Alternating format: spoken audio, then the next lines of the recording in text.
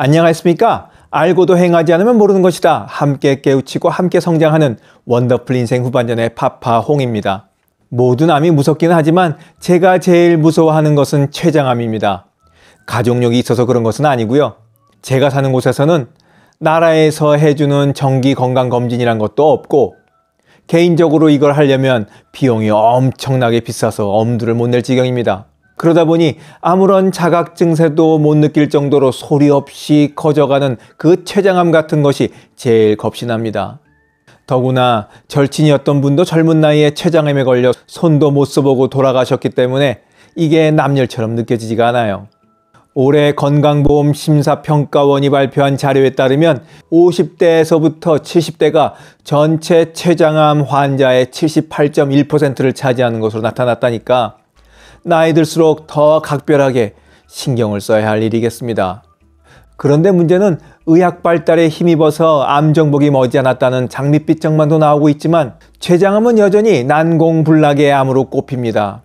5년 생존율도 모든 암 중에서도 가장 낮은 10% 내외로 치명률도 가장 높죠. 그래서 오늘은 이 난공불락의 췌장암도 자가진단법이 있다고 해서 여러분들과 이에 대한 얘기를 나눠보려고 오랜만에 건강에 대한 영상을 준비했습니다. 췌장암의 공포로부터 벗어나고 의심 증상을 정확히 알아서 조기 진단 타이밍을 놓치고 싶지 않다면 오늘 영상 끝까지 함께 해주시기 바랍니다. 잠시 뵙겠습니다.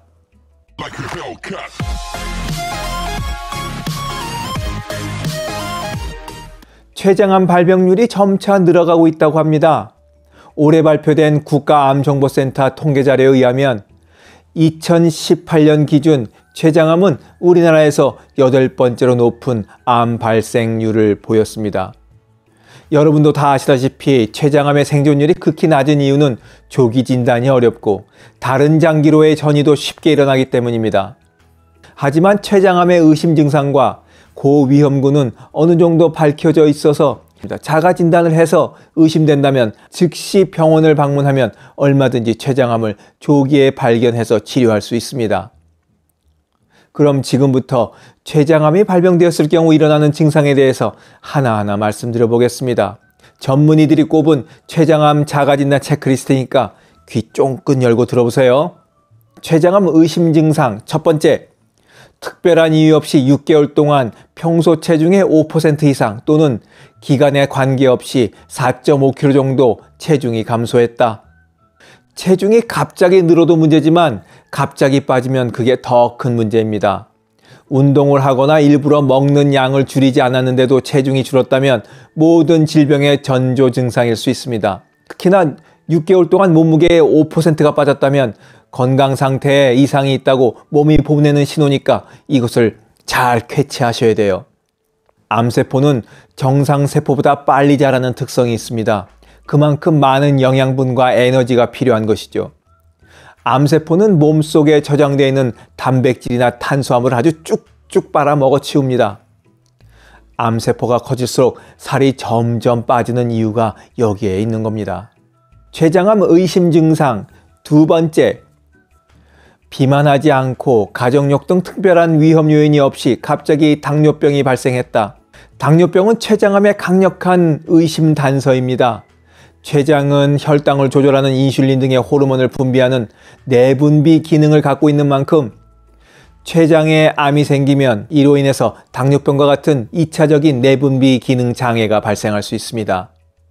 당뇨병이 췌장암의 결과일 수도 있으니까 특별한 위험 인제 없이 갑작스레 당뇨병이 발생한 경우 췌장암을 의심해 봐야 합니다. 췌장암 의심 증상 세 번째, 특별한 원인 없이 기존에 앓던 당뇨병이 갑자기 더 악화됐다. 당뇨병이 있는 경우에는 췌장암의 위험도 약 두 배 정도 높은 것으로 알려져 있는데 기존 당뇨병이 악화된 경우에 췌장암을 의심해보고 정밀 검사를 받아보는 것이 필요합니다. 췌장암 의심 증상 네 번째, 특별한 증상 없이 소변이 진한 갈색으로 변했거나 소변색 변화와 함께 전신 가려움증이 발생했다. 췌장의 머리 부분에 암이 발생하면 담관이 폐쇄돼서 담즙이 장으로 넘어가지 못하면서 초기에는 소변색이 매우 진해지고 이유 없이 가려움증이 발생된다고 합니다. 소변 보실 때 색깔 확인하시는 거 게을리하지 마시기 바랍니다. 췌장암 의심 증상 다섯 번째, 복통이나 열, 오한 등의 증상 없이 황달이 발생했다. 황달이 일어나는 경우도 앞선 증상처럼 담관이 폐쇄돼서 발생합니다. 담즙 내 노란 색소인 빌라루빈이 고여서 황달이 첫 증상으로 나타나게 되는 것이죠. 황달 초기에는 소변색이 진해지지만 오래 계속 진행되면 대변색이 회색이거나 하얗게 변할 수도 있습니다. 특히 복통이나 열, 오한 등의 증상 없이 황달이 발생한 경우라면 췌장암을 의심해 봐야 합니다. 췌장암 의심 증상 여섯 번째, 특별한 이유 없이 복부 불편감이나 등 쪽에 불편감이나 통증이 지속된다. 그냥 막연히 복부나 등 쪽에서 불편감을 느낀다고 해서 췌장암일지 모른다고 강하게 의심할 필요는 없습니다. 앞서 말씀드린 것 같이 동반 증상이 같이 따라오면서 그리고 가족력 같은 위험인자 없이 등 쪽에 통증만 있다고 해서 췌장암으로 진단하는 경우는 거의 없거든요. 그래서 막연히 등에 통증이 있다고 해서 췌장암 검사를 받기보다는 앞서 말씀드린 것 같은 동반 증상이 있는지 가족력과 같은 위험인자가 있는지 먼저 확인해 보는 것이 필요합니다. 췌장암 의심 증상 일곱 번째 장기간 식욕이 감소하고 소화가 잘 안 된다. 오랜 동안 속이 불편하다면서 의사는 만나보지 않고 그냥 소화제만 드시는 분들이 계십니다. 그러다 때를 놓쳐 땅을 치고 후회하시는 분들 많이 계시죠. 식욕 없고 소화가 잘 되지 않는다면 의사부터 만나보시기 바랍니다. 여기까지가 췌장암을 조기에 발견할 수 있는 자가진단 사항이었습니다.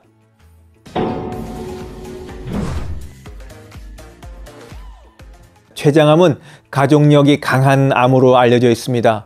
특히 직계 가족 중에 췌장암이 있는 경우에는 9배 정도 발병 위험이 증가하고 직계 가족 중에 3명 이상 췌장암이 있는 경우에는 무려 32배나 발병 위험이 올라간다고 합니다.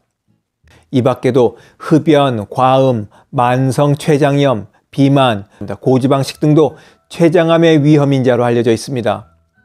특히 흡연자는 비흡연자에 비해서 약 1.7배 정도 췌장암 발생 위험이 높고 50년 이상 오랫동안 흡연하셨다면 두 배로 위험도가 뛴다고 하니까 흡연하시는 분들은 더욱 경각심이 필요하겠다 하겠습니다. 난공불락 췌장암이라도 조기 발견해서 치료하면 생존율을 높일 수 있습니다. 췌장암을 자가 진단할 수 있는 체크리스트는 다음과 같습니다. 다시 요약해서 말씀드릴게요. 1번 특별한 이유 없이 6개월 동안 평소 체중의 5% 이상 또는 기간에 관계없이 4.5kg 정도 체중이 감소했다. 두 번째, 비만하지 않고 가족력 등 특별한 위험 요인이 없이 갑자기 당뇨병이 발생했다. 세 번째, 특별한 원인 없이 기존에 앓던 당뇨병이 갑자기 악화됐다. 네 번째, 특별한 증상 없이 소변이 진한 갈색으로 변했거나 소변색 변화와 함께 전신 가려움이 발생했다. 다섯 번째, 복통이나 열, 오한 등의 증상 없이 황달이 발생했다.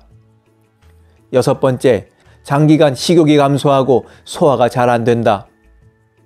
마지막 일곱 번째, 특별한 이유 없이 복부 불편감이나 등 쪽에 불편감이나 통증이 지속된다. 영상을 보신 여러분 모두 췌장암의 공포에서 벗어나 건강한 인생 후반전을 보내시길 바라면서 오늘 이야기 마치도록 하겠습니다. 원더풀 인생 후반전의 건강 이야기는 계속됩니다. 감사합니다. 하루를 충만하게 살아가는 좋은 사람들이 모여있는 곳이 있습니다. 바로 지난 3월 5일에 문을 연 실버들의 전성시대 네이버 카페입니다. 서로를 격려하고 응원해주는 넓은 마음과 나와 다른 생각을 지닌 사람까지 포용할 수 있는 열린 마음을 갖고 계시다면 실버들의 전성시대에 가입하시기 바랍니다. 댓글란 맨 위에 적어놓은 링크를 누르시면 가입할 수 있습니다. 아주 쉬워요.